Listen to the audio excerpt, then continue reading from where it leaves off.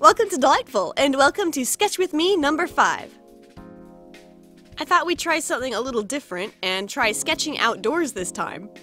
The majority of my work, when it comes to making dolls and editing video for YouTube, uh, has to take place inside, you know, in my studio. But I love to be outside most of the time, so I figured why not at least try the Sketch With Me videos outdoors. And it honestly worked better than I was expecting, the footage came out pretty nice. I was worried that maybe the shadows and sunlight would look too harsh, but I think it looks pretty good. We did have to pack up a whole bunch of supplies on a cart and wheel everything out to the park, so it felt like an excursion, you know, a bit of an adventure. When I say we, my mom is visiting me right now in Korea. Before we started sketching, we bought some kimbap, which is a classic Korean picnicking food. And we found a good spot and had a nice little picnic, and then we started sketching, which is basically the perfect afternoon. So for my first drawing, uh, after I did the Aurora Dragon doll, I just can't get the Dragon series off my mind. Yes, it's affirmed, I'm definitely doing a Dragon series. I do have a couple dolls planned first, which have to come first because one's a collaboration. Well, two's a collab. Anyways, I got like three dolls that need to come before I can even start the Dragon series. But that doesn't mean it's not always on my mind. So for this sketch, I just wanted to sort of spitball what an Earth Dragon might look like.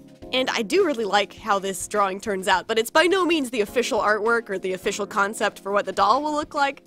It's just me thinking out loud, you know, sketching. I am working on toned paper again, and the basic sketch was in pencil. Now I'm coming back with a brown marker to define shapes and add more detail. When it comes to an earth dragon, I feel like it would be really cool to have her start rocky at the bottom. Like her feet could be mountainous rocks, kind of that cool stone color. And as we go up to the top of the doll, she can transition to wood, kind of wooden legs, and then maybe her right arm can be flowery and sort of the life side of nature, and her left arm can be the stony, hard side of nature. I feel like an Earth Dragon doll or an Earth Dragon Girl doll has a lot of potential for showing different themes. You could take it in a lot of different directions. And I'm thinking I'd like to accentuate both the life giving side of nature and the powerful, dangerous side of nature. Lastly, the fun part, adding some white acrylic paint on top just to spice up the image and make it look done.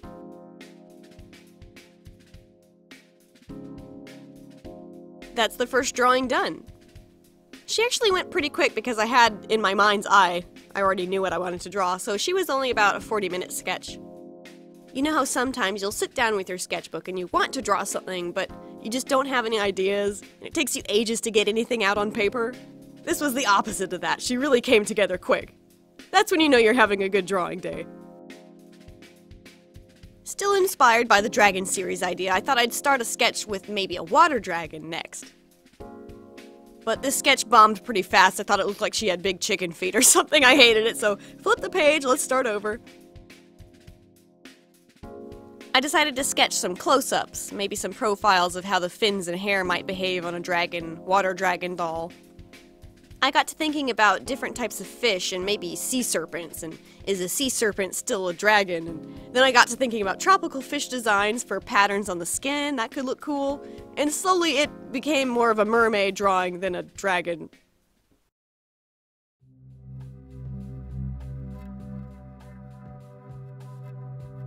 These aren't the best drawings from this session. I felt like I could have done way better. I've certainly done better profiles in my time.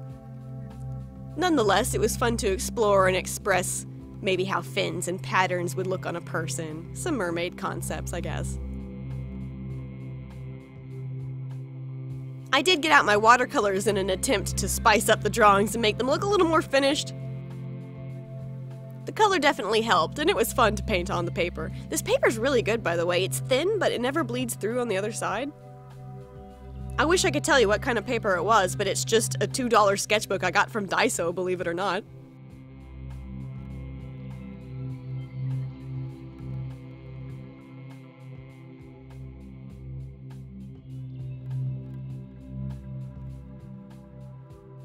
I finished up with white acrylic paint again on this sketch, but I think I overdid it. Anyway, there it is.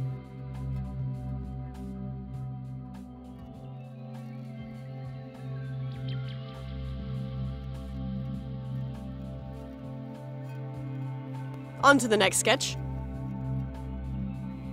I was still in a mermaid mood and felt the need to finish this episode with another full figure concept of something.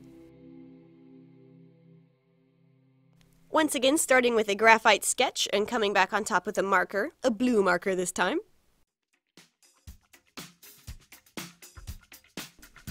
You've probably noticed the beanbag and the rock. Uh, it was pretty windy outside, so I had to use something to weigh down the pages of the sketchbook, or it would just blow all over the place. The sun angle is also getting worse here, not just for the drawing, but for me as well. We had had some cloud cover and a little shade, I think, but with the sun full on my back, I was very conscious all of a sudden of the fact that I hadn't put on any sunscreen. And without sunscreen, I burn really fast. So that's on the back of my mind as I'm rushing to finish this piece. You can see me trying to throw in some color real quick and oh, let's put the white finishing touches on, but it just looks unfinished and rushed. So eventually we did have to get out of the sun, and I just took this back inside and finished it later that night. Which is why we have the scene change. I was in the mood to use acrylics that night, so that's what I'm using here. And I do like how saturated and bright she came out. My favorite drawing was still the first one though.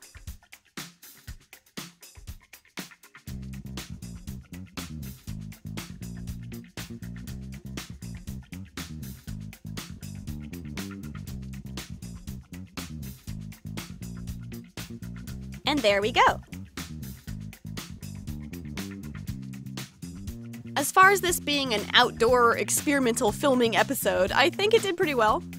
Lugging around all the equipment and the camera was a bit cumbersome, but I like being outside, so it was worth it for me. Minus the sunburn. Thanks for joining me, and I hope you have a good sketching day as well. I'll catch you in the next video. Stay artsy! Annyeong!